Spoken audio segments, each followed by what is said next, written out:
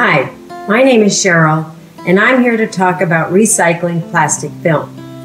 Does your wastebasket look like this, overflowing with plastic? Do you wish that it didn't have to go to the landfill? Well, it doesn't. Plastic film and plastic wrap can be recycled, and there are recycle receptacles at most grocery stores and big box stores right at the entrance. You will notice a big trash can looking receptacle that says plastic only. They are asking you to bring your plastic there for recycling. So, what items can be recycled? Well, all your grocery bags. Number one. Now, after you have used these many times and you can't use them anymore, they are clean and dry. They can be recycled. Likewise, the bags you put vegetables in, after you can no longer use them, they've got holes, they're worn out, these can be recycled.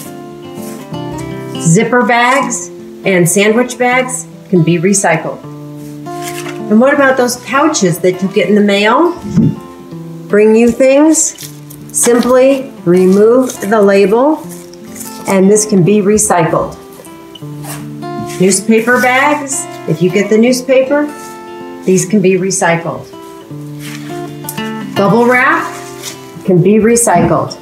Big and little. The big ones, they ask you to pop the bubbles. Bags that you, that bread comes in, can be recycled. Pillow pouches can be recycled. Just simply remove the air. And what about those larger items? The dry cleaning. These bags can be recycled. Bags that your soft drinks and water comes in.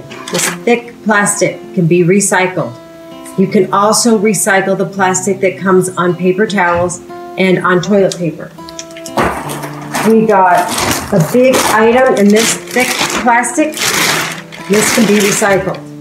Now you might ask, what can't be recycled? Well, I'll read you the list degradable compostable bags or film packaging, pre washed salad bags, frozen food bags, candy bar wrappers, chip bags, six pack rings. Now, six pack rings are causing havoc in our oceans. The fish and the turtles are all getting wrapped up in six pack rings. So please put those carefully in your trash. Don't let them go as litter where they can get into the water system and dog food bags. So that is all the things that you can put um, in the recycle and help keep our landfills empty and keep things recycled. Thank you very much.